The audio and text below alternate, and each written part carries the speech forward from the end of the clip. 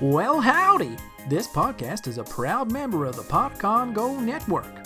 Podicon Go, family friendly shows that are fun for everyone.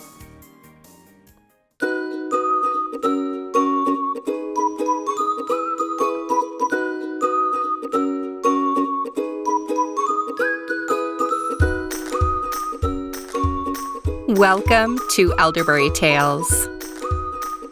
Grab as many rocks as you can carry.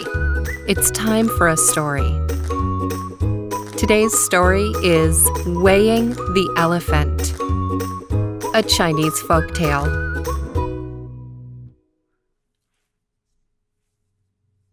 A long time ago, people who lived in China knew that a strange, amazing beast called an elephant lived in a faraway land, but no one had ever seen one. One day, a ruler from India came to see the Emperor of China. He brought a gift, and that gift was a real, live elephant. Never in China had anyone seen anything like it. As soon as the royal guest left, it was all anyone at court could talk about. This elephant is bigger than a water buffalo, said one mandarin. Are you kidding? said a second. It's bigger than a rhino. You must be joking, said a third. This elephant is bigger than two rhinos. One day, the emperor said to his mandarins, I want to know how much this amazing elephant weighs. Who can tell me how to weigh it? I can, said the first mandarin, who used to be a merchant. We will just put it on a scale. Not likely, said the emperor. There's no scale that could hold the weight of an elephant without breaking. I can tell you, said the second mandarin, who used to be a tailor. He said, We will measure the elephant. No, said the emperor with a sigh. Even if you measured all the different parts of the elephant, you would still not know how much it weighs. I can tell you, said the third mandarin, who used to be a baker. We will cut up the elephant and cook it. Then we will know.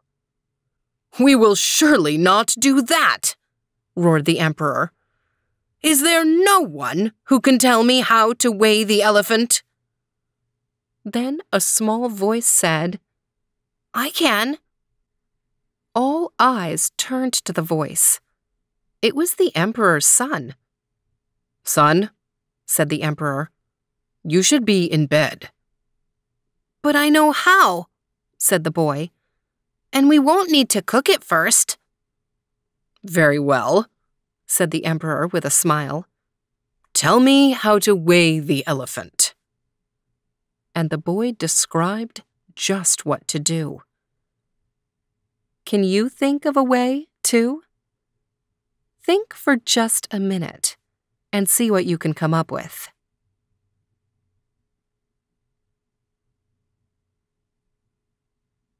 Well, here is what the boy said. You put the elephant in a big boat and take the boat out onto the water. Draw a line on the side of the boat where it meets the water, at the water mark. Then, bring the boat back to the shore and take the elephant off the boat. Put rocks on the boat, one by one.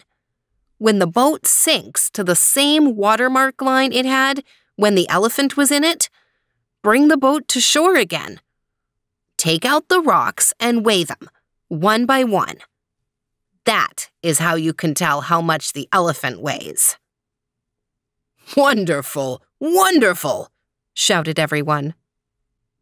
It will work, called out the first mandarin. What a clever plan, said the second. Who knew this child would know? said the third. And the fame of the emperor's son traveled far and wide.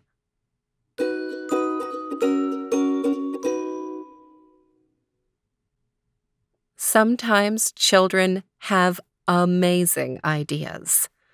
this story is just one example of how creative and resourceful kids can be. It's nice to have a kid around when you're trying to think outside the box and solve a problem. I chose this story today because it's short and funny and interesting and kind of inspiring. But there's another reason why I wanted you to hear this story this week. Because coming up at the end of this week is the Chinese New Year, the Lunar New Year, that's celebrated in countries all around Asia. And I thought it would be great to have a story from Asia and from China specifically to share with you this week. Do you celebrate the Lunar New Year where you live?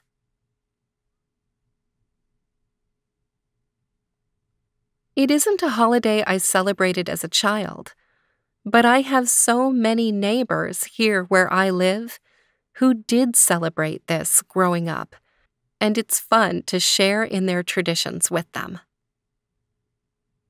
This year coming up in 2021 is going to be the year of the ox. And if you want to celebrate this new year, there's plenty of things that you can do at home, like eating really long noodles, or watching fireworks, or giving a red envelope with a little bit of money in it, or any other gift to your special friends and relatives. The Lunar New Year happens on a different day every year because it's tied to the moon. Lunar means moon, and the new year always starts with the second new moon after the winter solstice. This puts it right between the solstice and the spring equinox. And for many people, it's a sign that spring is coming Winter is coming to an end, and we will soon have fresh greens and flowers all over the place. There are even a few flowers springing up in my yard today, as well as some beautiful fresh green leaves. I'll tell you a secret. This is my favorite time of year. I love all the seasons but finding these first, early signs of spring is probably my absolute favorite part of the year. Whether there are signs of spring where you live, or if it's still winter, or if you're in the southern part of the world, it's still summer. Whether you celebrate the Lunar New Year with your own family or not, I hope you have a wonderful week. This story, Weighing the Elephant, is a traditional Chinese folk tale, and this version is retold by Elaine L. Lindy for her website Stories to Grow By.